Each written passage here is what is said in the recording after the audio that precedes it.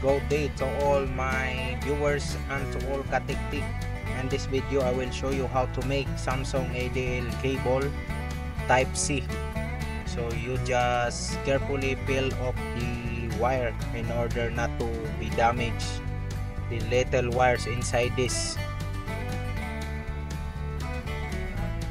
So just carefully use the cutter or if you have knife you can use it so you just select the green and black color. Green and black.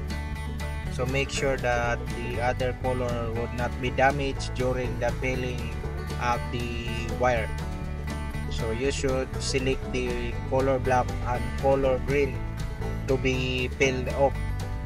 So here is the first color green. So it's either to you what you have first to be peeled off just careful in order not the wire to be cut copper. So careful and slowly peel off.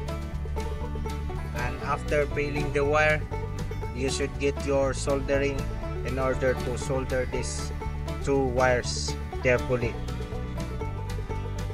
So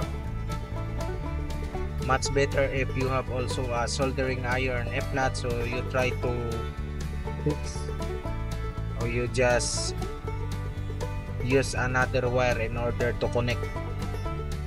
So you just put the wire soldering wire and the temperature is 400 so here is the output. And we have now a Samsung EDL cable just simply like that.